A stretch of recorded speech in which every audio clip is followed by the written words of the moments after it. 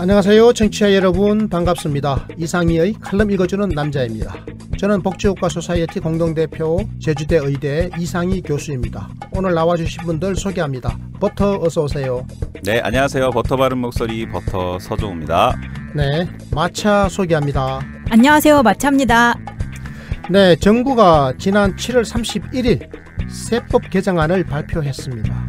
정부는 이번 세법 개정안을 통해 근로장려금 지원 대상을 현행 166만 가구에서 무려 344만 가구로 확대했고 직업 규모를 연간 1조 2천억 원에서 3조 8천억 원으로 두 배 이상 크게 늘리기로 했습니다. 우리나라 다섯 가구 중에 한 가구꼴로 근로장려금을 지원받는 셈이 되는 겁니다. 이에 대해서 정부는 저소득층 가구에게 자녀 수대로 지급하는 자녀 장려금도 크게 확대하기로 했습니다. 정부의 이런 조치에 대해 대다수의 언론들은 취지는 이해하지만 재정 적자가 걱정이다 라면서 비판을 가하고 있습니다. 그래서 오늘 이 칼럼에서 바로 이 이슈 좀 쉽고 상세하게 다뤄보도록 하겠습니다. 여러분 EITC 그러니까 근로장려 세제가 무엇인지 오늘 저희 방송을 통해서 확실하게 알려드리겠습니다. 끝까지 저희와 함께 해주십시오.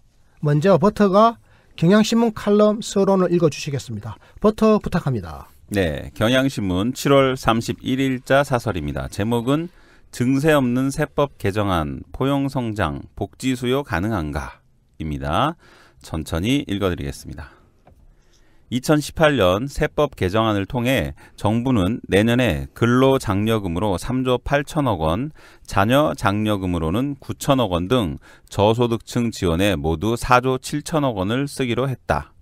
이는 올해 총 지원액 1조 7,600억 원보다 2.7배 늘어난 수준이다. 정부의 저소득층 복지 확대는 사회 안전망과 소득 주도 성장의 기반을 강화한다는 점에서 긍정적이다. 안녕하세요. 별피디입니다. 여러분, 하트 잊지 않으셨죠? 네. 지금 바로 꾹 눌러주세요. 감사합니다. 네, 버터가 경향신문 사설을 읽어주셨는데요. 2018년 세법 개정안. 사실 이 세법 개정안이라고 하는 것은 매년 여름 이맘때쯤에 나오게 됩니다. 올해도 어김없이 나왔는데요. 올해의 특징은 바로 근로장려금입니다. 3조 8천억 원을 내년 1년 동안 지출하기로 했는데요. 그리고 또 자녀 장려금도 9천억 원을 지원하기로 했습니다.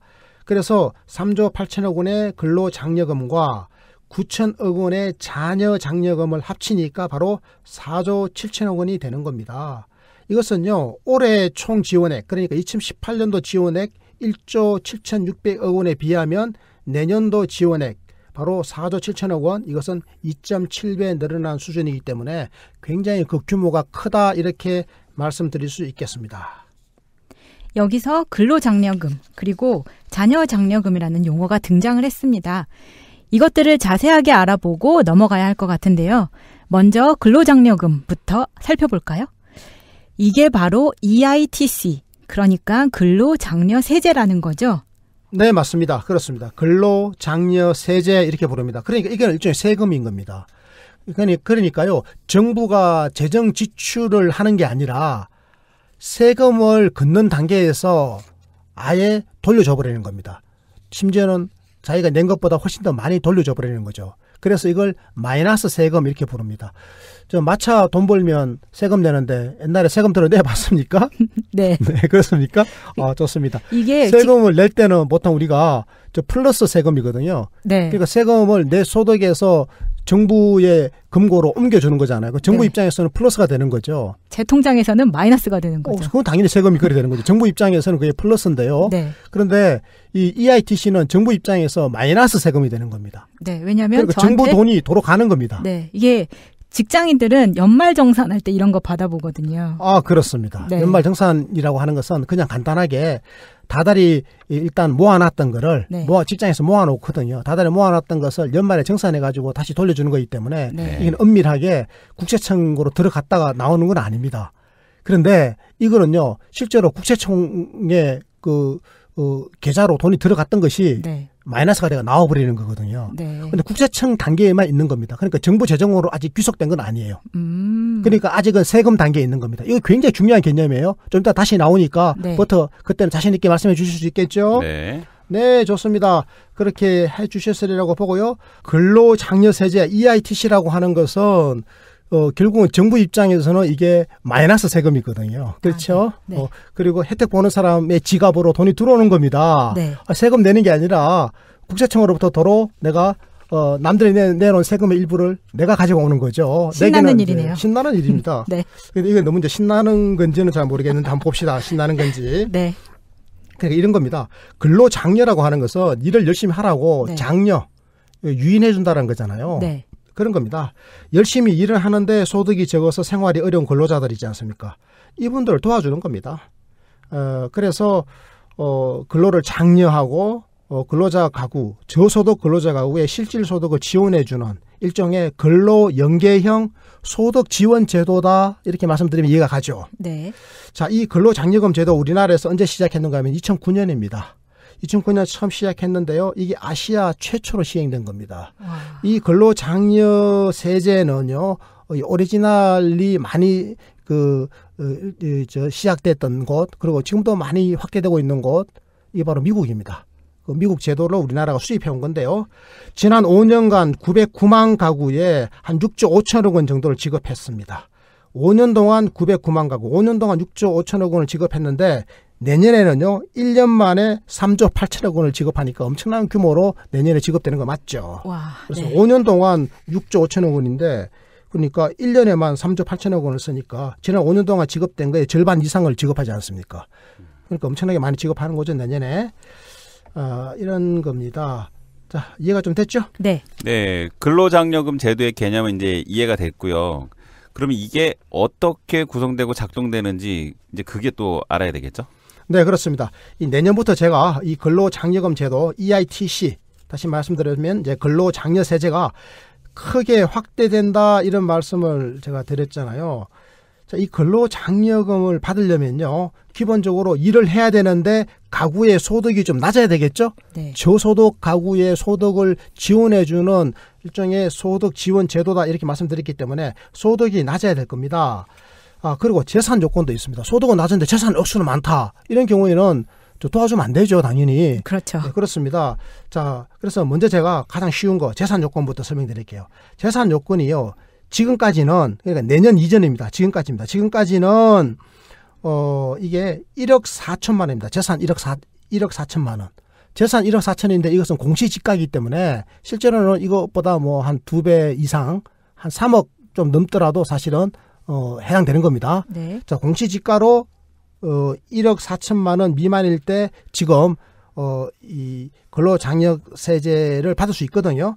그런데 여기에요. 좀 더 완화가 됩니다. 어떻게 완화되느냐? 2억 원까지 완화가 됩니다. 음. 그러니까 내년부터 2019년부터는요. 어, 재산 요건이 2억 원입니다. 2억 원 미만이면 되는 겁니다. 공시지가로 2억 원이니까 실제로는 아마 뭐 한 4억 내지 5억 정도가 아마 될 가능성이 크죠. 네. 자, 그 다음에 이제 소득 요건인데요. 소득 요건이 이게 단독 가구인지 호벌이 가구인지 맞벌이 가구인지에 따라 가지고 다르겠죠. 단독 가구란 1인 가구를 이야기하는 그래서 건가요? 혼자서 사는 겁니다. 네. 혼자 사는 가구죠. 혼자 사는 가구는요.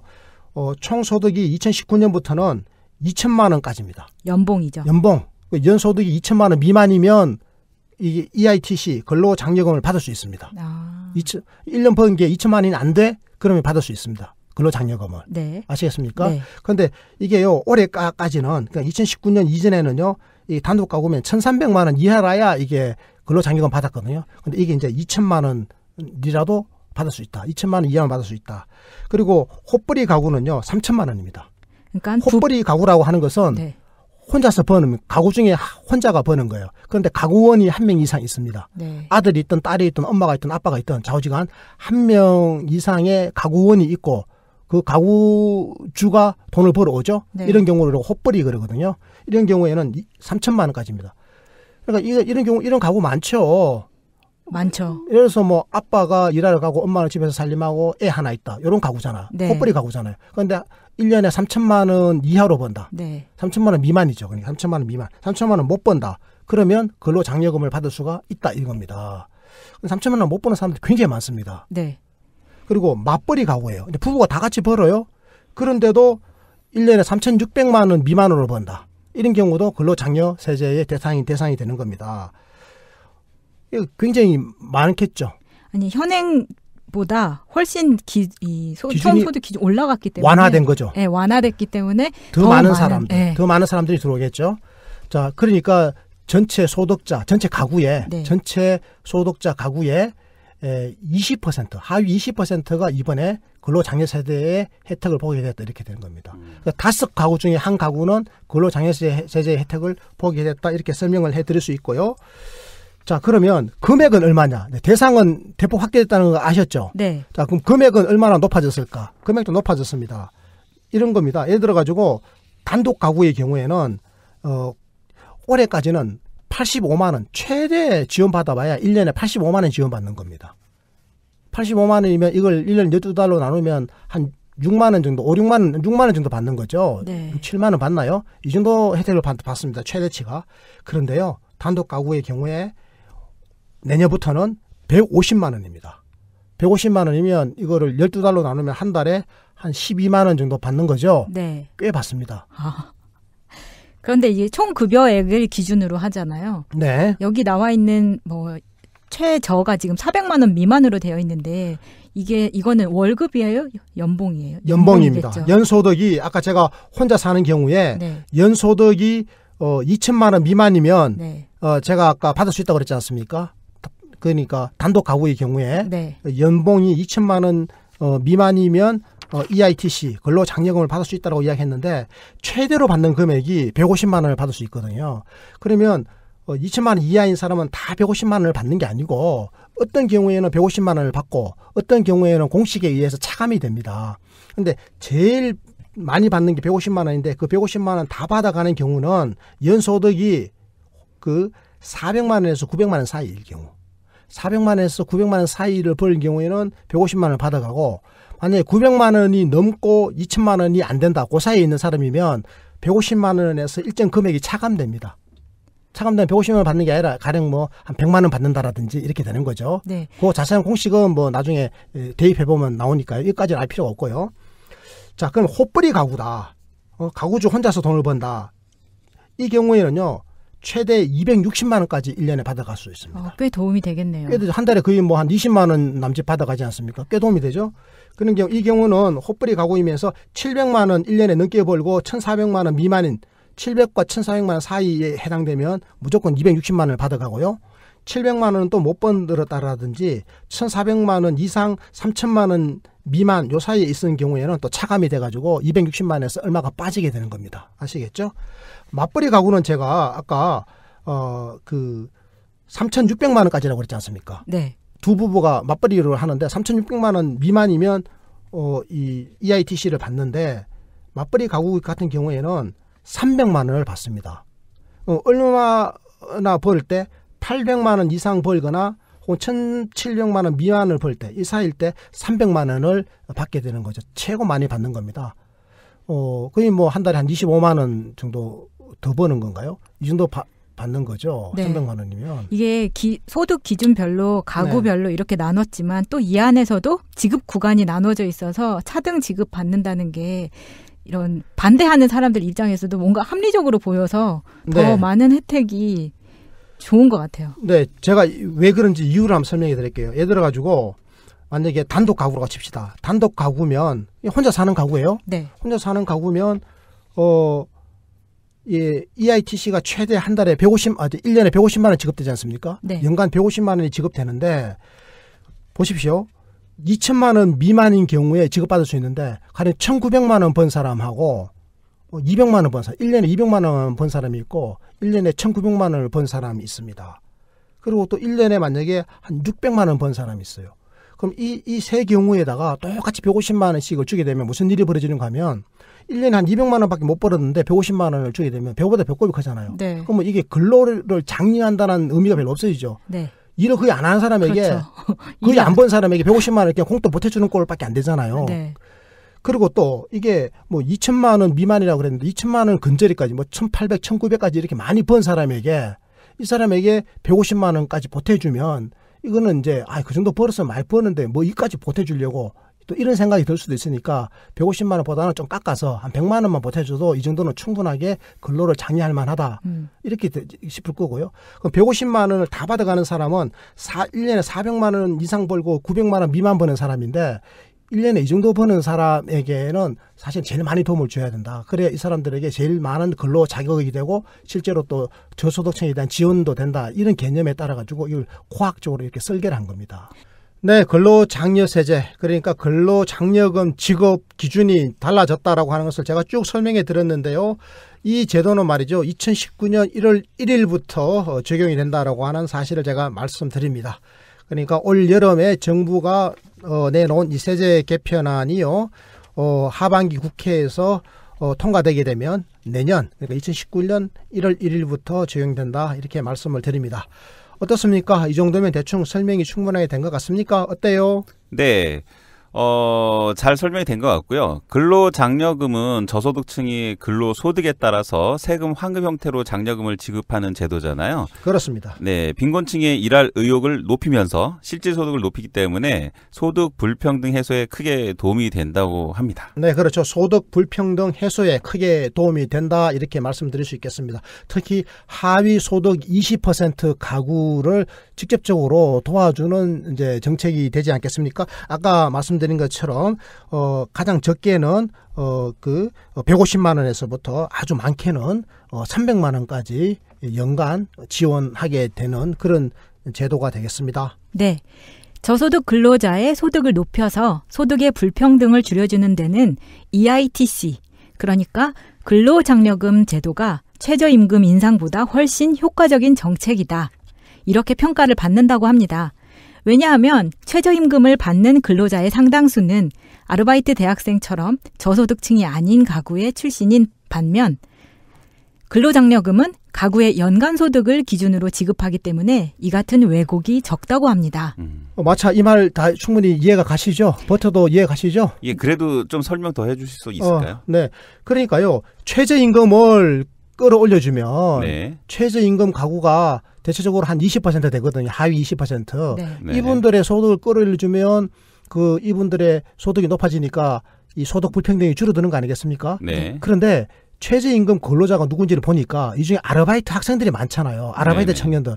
아르바이트 청년들은 실제로 집에 가보면 엄마 아빠가 번듯한 소득자인 경우가 많아요. 음. 이런 경우에는 아르바이트 학생들이 소득을 가져가더라도 가구 소득의 에, 정대에 기여하긴 하지만 저소득층 가구가 아니라 중상층 가구의 소득 정대에 기여하는 경우도 있다 이런 겁니다. 네. 그러니까 최저임금을 끌어올리는 것보다 EITC 근로장려금을 지급하는 것은 직접적으로 어 1년 동안의 소득 결과 소득이 가장 낮은 것으로 입증된 하위 20% 가구들에게 직접적으로 돈이 지원되기 때문에 이게 훨씬 더 효과적인 방책이다 이런 이야기입니다. 여기에 대해서는 사실은 논란 여지가 없어요. 확실한 겁니다. 네, 왜냐하면 너무 객관적인 자료를 가지고 정확한 타겟을 둬서 혜택을 주는 거기 때문에 그런 것 같네요. 네, 그렇습니다. 자, 그럼- 버터. 이런 거죠. 부모는 많이 벌고 자, 자녀는 뭐 아르바이트해서 하는 거에 대해서는 별로 많이 도와주지 않아도 되는데 그렇죠. 그런 경우에는 근로장려세제는 혜택을 못 받는 거죠. 가구 단위로 따지니까. 예. 네. 근데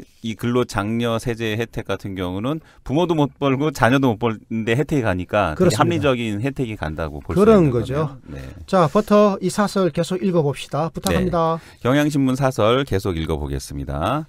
그러나 복지 확대 방식에서는 문제가 있어 보인다.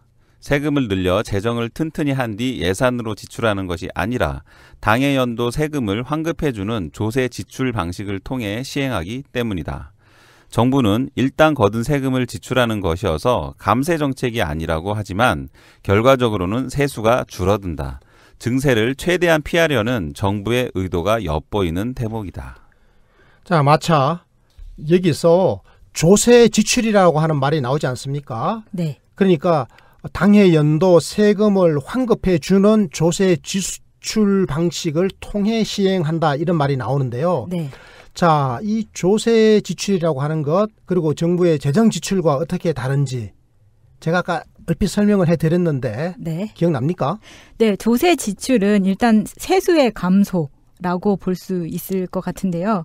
이게 일반적인 과세가 아니라 왜 우리 비과세라던가 소득공제, 세액공제 이런 것들을 조세 지출이라고 그러니까요. 합니다. 걷어야 될 세금을 안 걷는다라든지 적게 걷는다라든지 아니면 걷어놓은 세금을 돌려줘 버린다라든지 네. 좌우지간 국세청 선에서 어 세금이 어쨌건 최종적으로 적게 거치는 게 조세 지출인 겁니다. 네. 근데 이 국세청이 세금 걷으면 나중에 국고로 들어와 가지고 정부 재정으로 편입되지 않겠습니까? 네. 그럼 이 정부 재정으로 들어온 것이 정부의 각 부처에 의해서 예산의 형태로 예산의 형태로 사용되게 되면 이거 우리가 정부의 재정 지출 이렇게 부르는 겁니다. 네. 그러니까 조세 지출이 늘어나는 것, 재정 지출이 늘어나는 것 이게 양자가 다 결과적으로 국민 입장에서는 혜택을 보는 건데 어떤 방식으로 혜택을 보게 해주는가 그에 따라 성격이 좀 구분되는 거죠. 네. 그런데 이 칼럼에서는 조세 지출을 지지합니까? 재정 지출을 지지합니까? 재정 지출을 지지하고 있잖아요. 그렇지 않아요? 네. 그러니까 도찐 개찐이라는 느낌으로 드는데 저는. 도찐 개찐같이 보입니까? 네. 그러니까 먼저 걷든 나중에 걷든 결국 세수 줄어드는 거 마찬가지 아니냐. 뭐 이렇게 뉘앙스로 느껴지는데 아닌가요? 정부는 일단 그든 세금을 지출하는 것이기 때문에 감세 정책이 아니라고 하지만 결과적으로 세수는 줄어든다. 그러니까 감세 정책을 놓고 도찐 개찐이라고 하는 거지 조세 지출과 재정 지출을 놓고 도찐 개찐이라고 한 건 아니죠 보통. 네, 그렇습니다. 잘 봐야 됩니다. 이거. 네. 헷갈리면 안 돼요. 네. 음. 청취자 그러니까 여러분들도 잘 들으셔야 될 것 같습니다. 그러니까 이런 거죠. 복지 확대의 방식에 있어서 문제가 있다 이렇게 바로 지금 지적하고 있지 않습니까? 이 칼럼에서. 그렇습니다. 그러니까 지금 문재인 정부의 복지 확대 방식에 있어서 문제가 있는 거다. 복지를 확대하는 방식에 있어서 EITC 근로장려금 같은 경우에는 이게 조세 지출이란 말이죠. 네. 그리고 큰 정부 복지국가 같은 경우에는 조세 지출을 하는 게 아니라 일단 세금은 다 거둘 대로 다 거뒀고 난 다음에 필요한 곳에 재정을 지출하거든요. 그러니까 재정 지출하는 게 이게 더 전공법이다. 음. 이런 이야기죠. 보십시오. 제가 첫 문장 읽어볼게요. 이 칼럼 마지막 사설, 이 사설의 마지막 부분의 첫 문장. 그러나 복지 확대 방식에서는 문제가 있어 보인다. 이렇게 이야기했잖아요. 세금을 늘려 재정을 튼튼히 한 뒤에 예산으로 지출하는 것이 아니라 그 이게 옳다란 이야기죠. 네. 근데 이게 아니라 정부가 선택한 것은 당해 연도 세금을 환급해 주는 환급해 주는 조세 지출 방식을 통하고 있다. 이렇게 이야기한 거죠. 그 방법을 비판하고 있네요. 비판하고 있는 겁니다. 맞, 네, 그, 이제 알겠네요. 이제 알겠습니까? 아, 네네. 그럼 됐습니다. 지금이라도 알면 됐고요. 자, 자. 계속 읽어보겠습니다.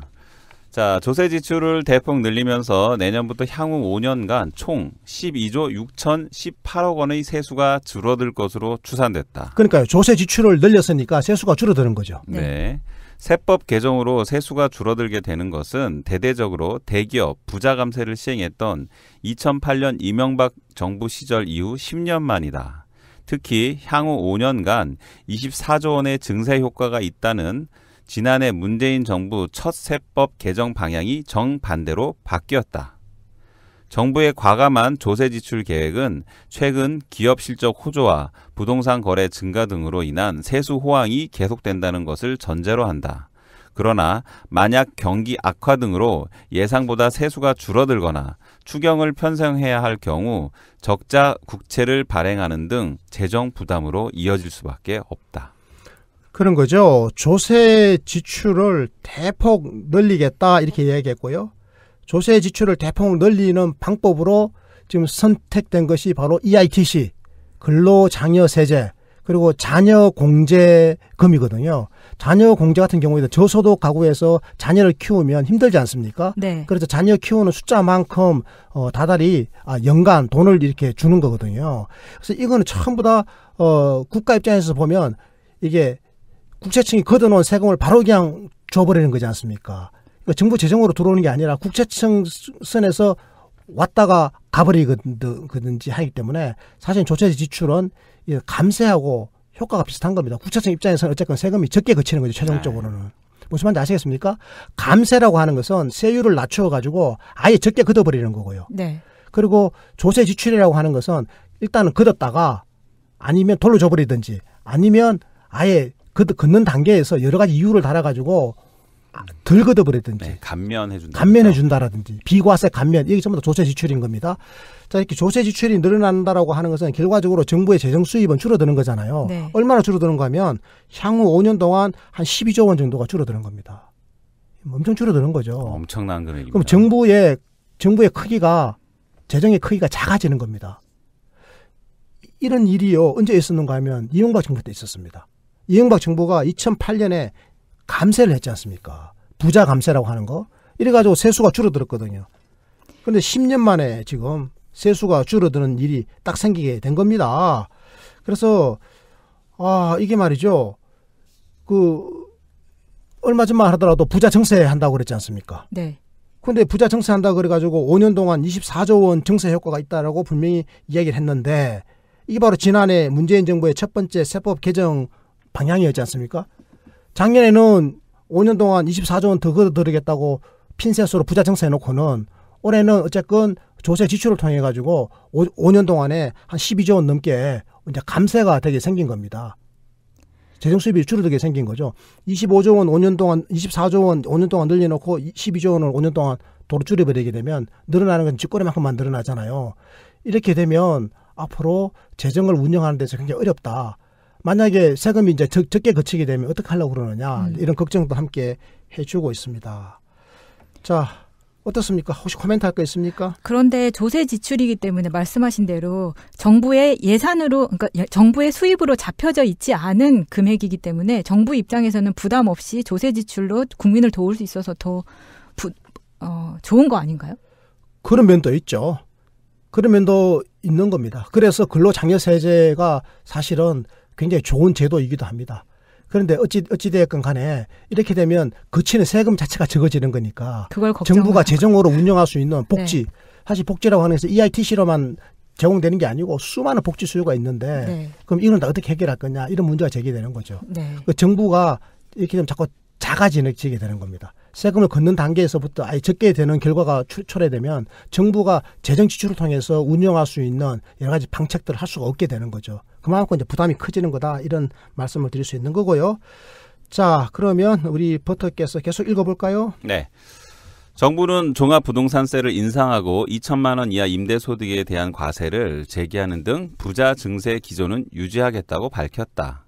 그러나 종부세 인상은 당초 대통령 직속 재정개혁특별위원회에서 마련한 안에 비해 크게 후퇴했다.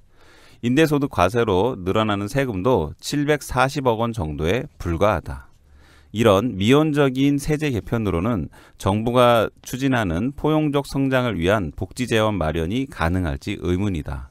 정부는 이제라도 복지를 제대로 하기 위해 세금이 얼마나 필요하고 어떻게 거둘 것인지 시민들과 함께 고민하며 근본적인 세제 개혁 로드맵 마련에 나서야 한다.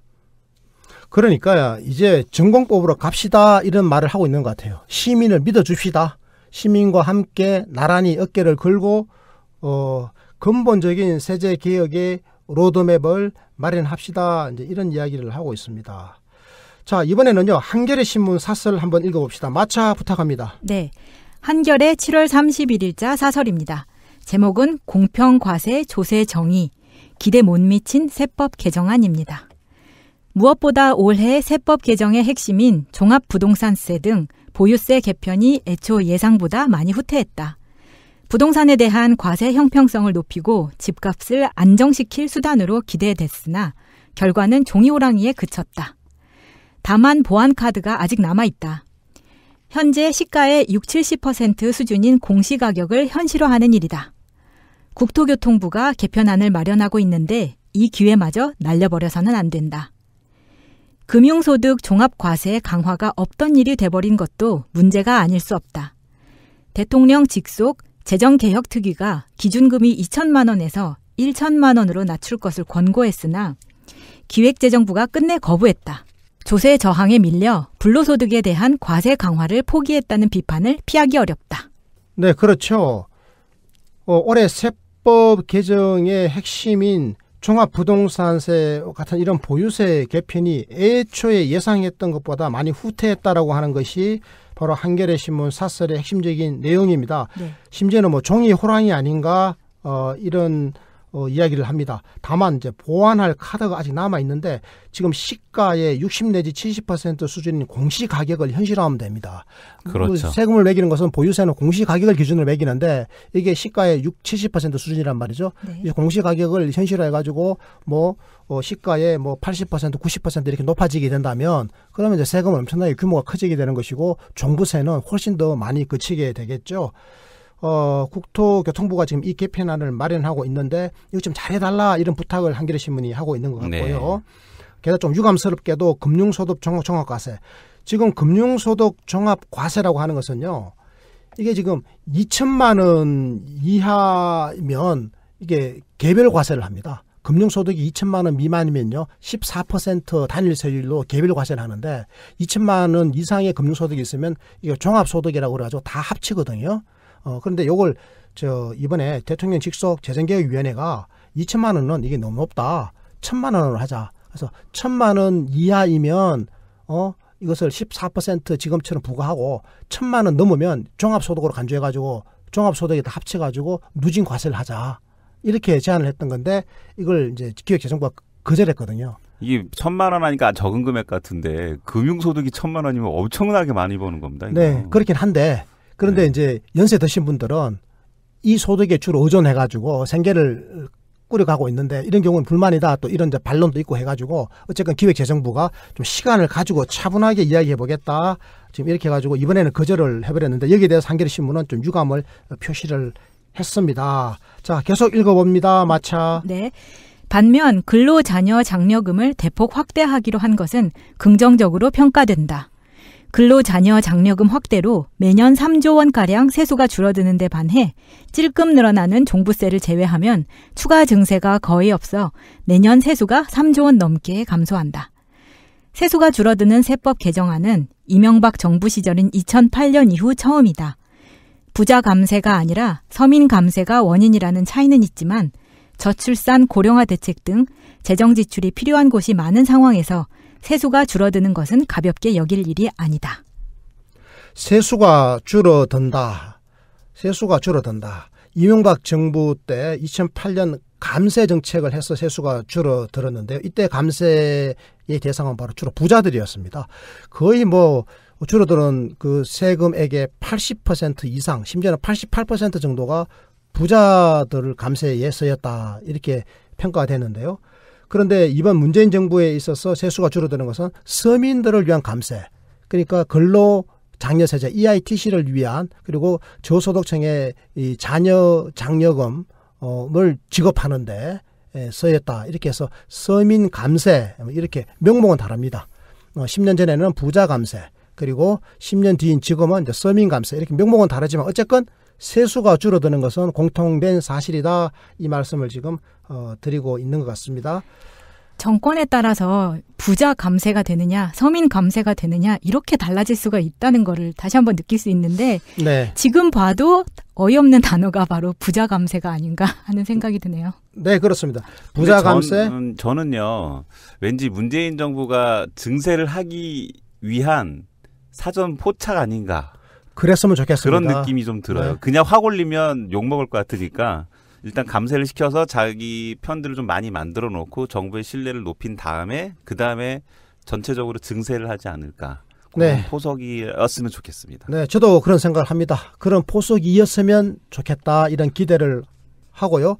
그런데 전공법은요. 전공법은 어, 부자 감세든 서민 감세든 감세가 아니라 어, 사실상의 정세를 통해서 정부 재정을 키우고 그 정부 재정 지출을 하는 것이 전공법이다. 이게 아까 네. 어, 경향신문의 칼럼의 핵심이었고 한겨레 신문도 마찬가지의 지금 맥락을 가지고 있다 이런 말씀을 드립니다. 자 그래서 정부가 지향하는 복지국가의 청사진을 분명하게 보여주는 게 중요합니다. 그래서 누구에게 얼마만큼의 세금을 더 걷어서 어디에 쓸 것인지 그 방법을 구체적으로 제시를 해줘야 되는 거죠. 자 그래서 다행스러운 것은 말입니다. 그 문재인 정부의 정책기획위원회 산하에서 활동을 하고 있는 재정개혁특별위원회가 하반기에요. 각계각층의 의견 수렴을 거쳐서 중장기 조세 재정개혁 개편안과 로드맵을 만들 계획이라고 하거든요. 어 그러니까 어, 여기에서 우리 버터가 기대했던 그런 어, 결과가 나왔으면 좋겠다 이런 생각을 합니다. 자, 버터 이번에는요.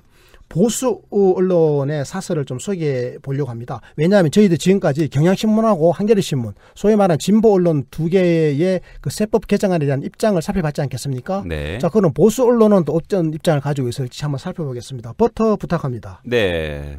보수 언론의 대표적인 경제지죠. 서울경제 7월 31일자 사설입니다. 제목은 분배만 보이는 세법 개정안 이래선 성장 어렵다입니다.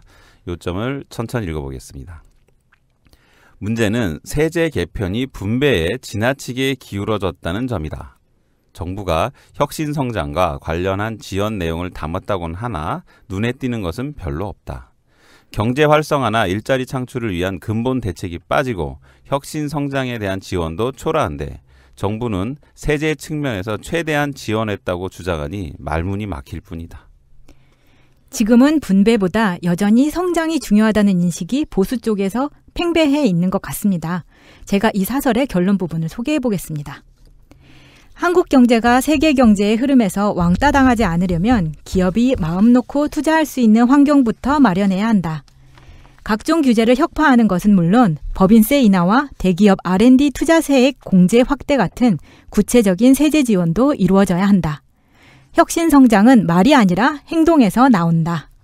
그런데 혁신 성장은 말이 아니라 행동에서 나온다라고 하는 이 말이 저는 좀 이해하기가 어려워요. 그러니까 혁신 성장은 말이 아니라 행동에서 나온다. 이거 뭐 당연한 말 같잖아요. 근데 이분들이 생각하는 혁신 성장이라고 하는 것은 뭐냐?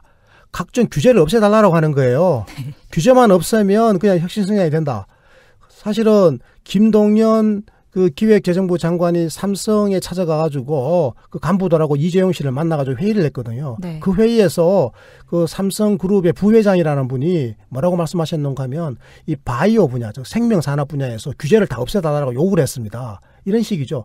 규제를 없애버리면 무조건 혁신 성장이 이루어질 수 있다라고 하는 생각, 이 생각도 저는 좀 고려해 봐야 된다. 물론 없애야 될 규제는 없애야 되겠지만 필요가 있어서 어, 만들어진 규제를 없애버리게 되면 그건 결과적으로 우리 국민의 건강과 생명과 행복을 없애는 어, 해치는 그런 결과가 초래될 수도 있기 때문이죠.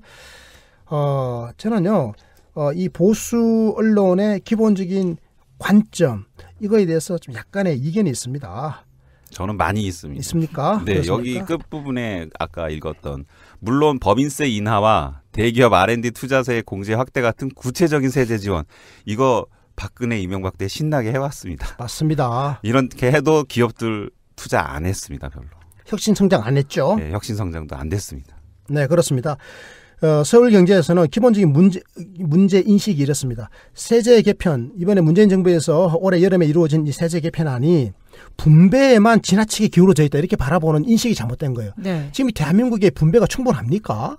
하, 정말 인식이 어떻게 이런지 모르겠어요. 이게 너무 전형적인 보수적인 시각이라는 게 여전히 성장보다 너네가 이렇게 왜 분배에 더 집착을 하느냐 이런 식으로 얘기를 하는데 지난 10년간 우리가 제대로 된 분배를 하지 못했기 때문에 빈 빈부격차가 이렇게 크게 난 것을 지금에 와서 정부가 좀 노력을 하고 있는 거거든요. 그렇습니다. 자, 이번에는요, 어, 보수 언론 사설 하나 더 읽어봅시다. 네. 마차 부탁합니다. 네. 제목은 최저임금 땜질에 동원된 세법 개정안입니다. 핵심 부분을 소개하겠습니다. 자, 이게 7월 31일자 파이낸셜 뉴- 뉴스입니다. 사설이죠. 네. 근로장려금을 늘리는 것 자체가 나쁜 일은 아니다. 저소득층 복지 혜택 가운데 근로 의욕을 손상하지 않으면서 지원 효과를 높일 수 있다는 점에서는 긍정적인 면도 있다. 문제는 최저임금 정책 실패로 빚어진 구멍을 세금으로 메워야 하는 현실이다. 정부가 애당초 최저임금 인상률을 합리적 수준에서 결정했다면 안 써도 될 세금이었다는 점을 지적하는 것이다. 아, 이 파이낸셜 뉴스는 정말 인식이 조금 좀 이렇게 심성이 조금 뭐가 좀 삐뚤어져 있는 사람들 있잖아요, 왜. 네. 삐딱한 사람들. 네. 좀 배, 꽈배기처럼 좀 음. 꼬인 것 같아요. 그러니까요, 왜 갑자기 여기에, 그러니까 근로장려 세제를 확충하는 데다가 대놓고 최저임금 이야기가 왜 나옵니까? 어? 이거는 하위 20% 소득 계층이 전반적으로 어려우니까 이 가난한 가구의 그 연간 소득을 보장해 주려고 하는 게 소득 지원 장치 아니겠습니까? 근로장려세제 EITC가 최저임금을 갖다가 획기적으로 인상하면서 생긴 부작용을 땜방질하기 위한 거다 이렇게 또 이야기하는 거는 네. 이거는 정말 뭐 저는 이건 좀 어느 도단이다 이렇게 생각하는데요. 물론 뭐그 하위 소득 계층 중에서 최저임금 때문에 일자리에서 밀려난 분들도 포함되어 있기 때문에 뭐 보완적인 장치가 될 수는 있겠지만 이거는 이거대로 소중한 하나의 제도적 장치고 원래 있었던 거거든요. 있지 않습니까? 있었던 거를 지금 뭐 한 두 배 내지 세 배 정도 규모로 내년에 확대하는 거잖아요. 네. 그럼 잘한다 했으면 잘한다고 박수 치면 될 일이지. 이걸 또 굳이 또 최저임금 인상을 뭐 제대로 안 했으면 그리고 최저임금 인상 안 했으면 이거 도입 안 해도 될 걸 해가지고 돈 낭비한다 이런 식으로 이야기를 꼭 해야 되겠냐. 저는 이런 이제 생각이 드는데요. 이 인상률 자체를 사용자 측에서 생각한다는 게 너무 보이는 것 같네요. 그런 거죠. 네. 그렇습니다. 어, 사실 그 하위 20% 소득이요. 그 1년 전에 비해서 8%나 줄어드는 거는 사실입니다. 그리고 상위 20%는 9.3% 소득이 늘어났거든요. 이것 때문에 문재인 대통령께서도 마음이 아프다 그랬잖아요. 네. 문재인 대통령이 가장 아프게 생각하는 부분들이 이 하위 20% 소득 계층인데 이 저소득 계층의 소득이 높아져야 될 판에 오히려 더 오그라들었으니까 마음이 아프죠. 그래서 근로장려 세제를 더 확대하겠다라고 하는 것은 당연한 귀결 아니겠습니까?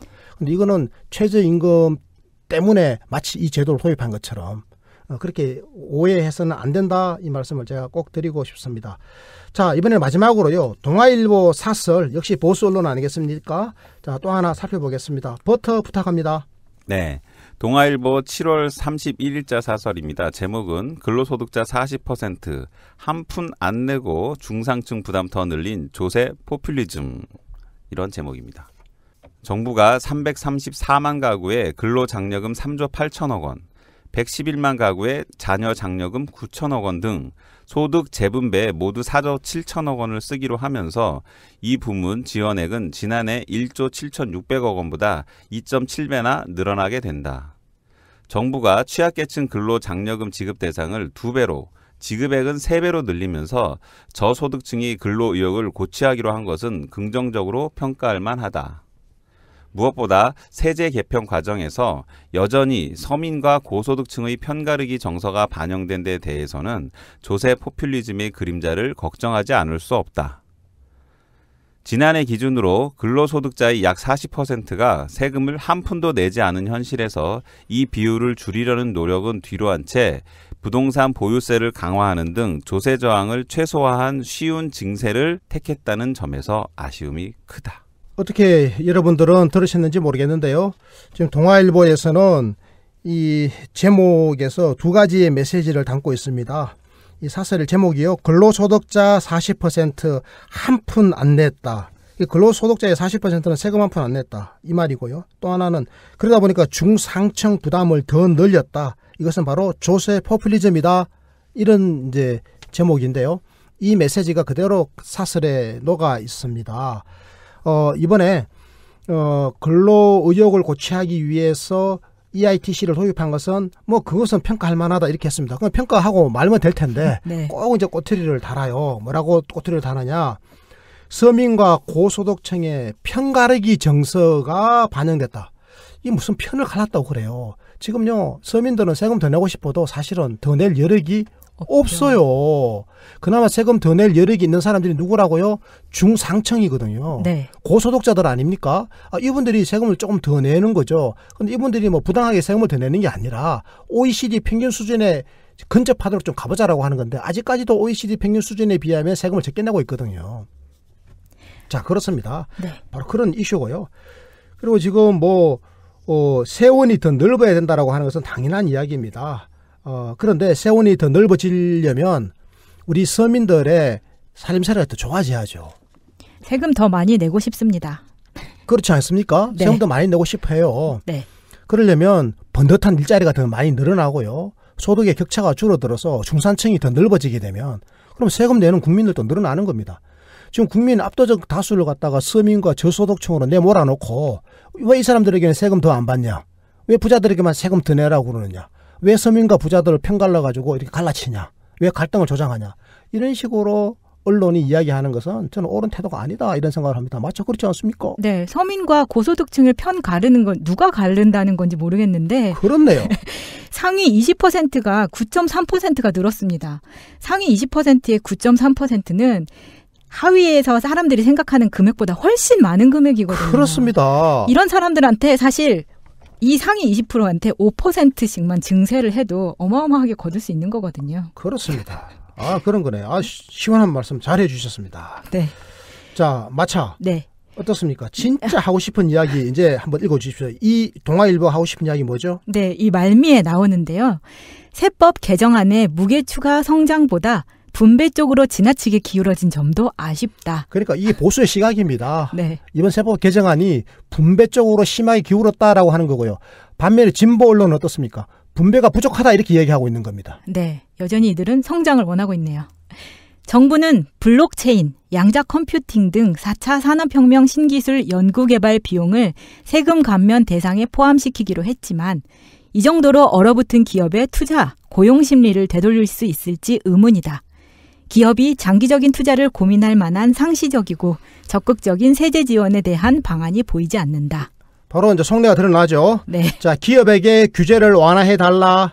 그리고 장기적인 투자를 기업들이 충분하게 고민할 수 있도록 상시적이고도 적극적인 대기업과 재벌에 대한 세제 지원을 더 해달라. 이게 지금 동아일보 사설의 본심이었다. 이게 바로 혁신성장이다라고 하는 이야기였습니다. 네, 존경하는 이 칼럼 청취자 여러분. 오늘 저희 방송 어떠셨습니까? OECD 평균을 한참 밑도는 조세 부담률 수준을 끌어올리기 위한 노력을 적극 기울이면서 저출산 양극화를 비롯한 구조적 문제를 해결하는데 투자하는 것이 경제 성장에도 도움이 됩니다. 이게 바로 패러다임의 전환인데요. 깨어있는 시민들의 연대와 지지가 지금 필요한 시점입니다. 역동적 복지 효과로 가는 길 저희는 늘 여러분과 함께 하겠습니다. 이것으로 오늘 방송 마칩니다. 지인들에게 청취 많이 권해주시고요. 고맙습니다. 고맙습니다. 감사합니다. 국민이 행복한 나라 역동적 복지국가의 시각으로 세상을 바라보는 이상의 칼럼 읽어주는 남자 복지국가 실현의 그날까지 늘 최선을 다하겠습니다 구독하기, 좋아요, 다운로드 부탁드립니다 고맙습니다. 고맙습니다.